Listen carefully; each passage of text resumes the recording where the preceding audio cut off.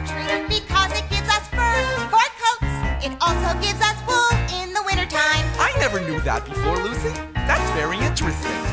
This is an elm tree. It's very little, but it will grow up into a giant tree.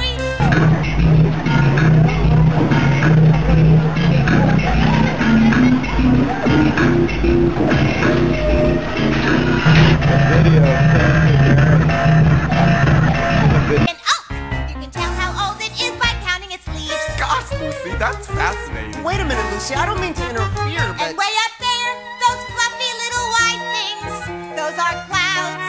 They make the wind blow. And way down there, those tiny little black things, those are bugs. They make the grass grow. Is that so? That's right, they run around all